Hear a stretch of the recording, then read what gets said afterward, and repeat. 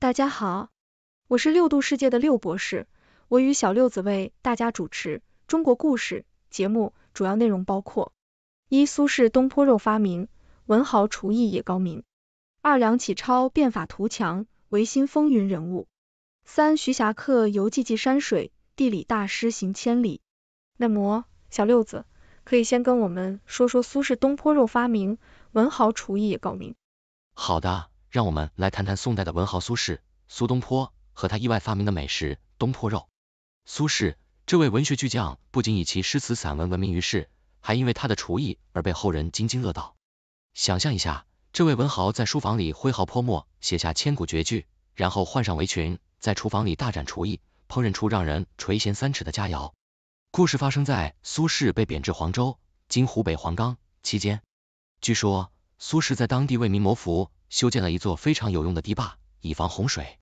当地百姓为了感谢他，送来了许多猪肉。苏轼想要回报乡亲们的好意，于是决定用这些猪肉做一道美味的菜肴。但是苏轼毕竟是个忙碌的官员，他没有太多时间守在灶台旁翻炒。于是他就想出了一个巧妙的办法，将猪肉切成大块，加入黄酒、姜、葱等调料，然后用小火慢慢炖煮。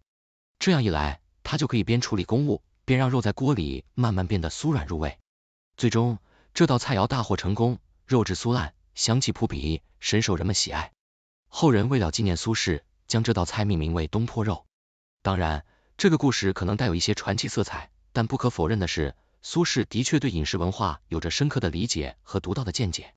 他在《饮膳正要》中提到：“饮食男女，人之大欲存焉。”这句话表明。苏轼认为饮食是人类最基本的需求之一，应当予以重视。如今，东坡肉已经成为中国菜肴中的经典之一，流传至今，仍然受到无数美食爱好者的喜爱。而苏轼这位文豪厨艺高明的形象，也成为了一个有趣的文化符号，提醒我们，即使是最崇高的文学创作，也可以与一锅熬得香喷喷的东坡肉有着意想不到的联系。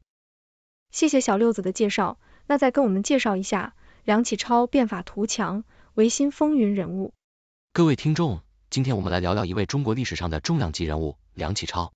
这位先生可不是一般的文人，他是维新运动的急先锋，一位思想家、改革家，还是个不折不扣的笔战高手。如果把晚清的政治舞台比作一场风起云涌的大戏，那么梁启超无疑是其中的一颗闪亮的明星。梁启超字卓如，号任公，有时候他还喜欢自称梁任公，这不仅仅是一种自娱于人的幽默，更是他对自己身份的一种自信展现。他是康有为的得意门生，两人一拍即合，一起推动了戊戌变法，也就是我们俗称的百日维新。说到百日维新，这可是一段波澜壮阔的历史。梁启超和康有为这对师徒，就像是古代的一阶金兰，一起策划了一系列的改革措施，目的是要把那个腐朽的大清帝国变成一个现代化的国家。他们提出了设立新学、建立医院、发展经济等一系列的改革方案，这在当时可是相当于政治版的颠覆三观。然而，好景不长，百日维新最终因为慈禧太后的一纸军令而宣告失败。梁启超和康有为只好带着他们的维新梦想一路奔波，流亡海外。但即便如此，梁启超的笔尖依然锋利，他在海外继续发表文章，批评清政府的落后，呼吁变法图强。梁启超的故事中有一个小插曲，颇为有趣。在流亡日本期间，他曾经用笔名梁任公在报纸上发表文章，结果有人不知道梁任公就是梁启超。还专门写信给梁启超，让他帮忙转告梁任公一些话。梁启超收到信后，既好笑又无奈，只好回信说：“梁任公即是小生，特此奉告。”这种自己给自己烧心的滑稽场面，想必也让梁先生自己忍俊不禁。梁启超的一生可以说是风云变幻，他见证了清末明初的种种巨变，他的思想和行动对中国近代史产生了深远的影响。他不仅是维新运动的重要人物。更是中国近代史上一位值得我们深入研究和了解的伟人，而他的故事也提醒我们，即使是在最黑暗的时刻，也有人愿意拿起笔作为剑，为了理想和变革而奋斗。谢谢小六子的介绍，那再跟我们介绍一下徐霞客游记记山水，地理大师行千里。徐霞客，这位明朝的行走地理百科全书，他的脚步比现代人的朋友圈还要广，比古代的快递小哥还要勤快。他的《徐霞客游记》不仅是一本旅行指南。更是一部地理民俗的大型综合论文集。这位大师行千里，不是为了打卡拍照，而是为了探究大自然的奥秘，记录山川河流的变迁，可以说是古代版的地理探险家。徐霞客的游记不同于一般的游记那样流连于山水之美，他的笔下更多的是对地理环境的精确描述和科学考察。他的游记中，山不仅仅是山，水不仅仅是水，每一处地理位置，他都要详细记录其方位、高度、形态、土质、矿产，甚至包括植被和气候。他的游记可以说是一本非常实用的古代地理信息系统。有趣的是，徐霞客的旅行并非一帆风顺。他曾在游记中提到，自己在爬山时不慎跌落，幸好被树枝挂住，才未造成大祸。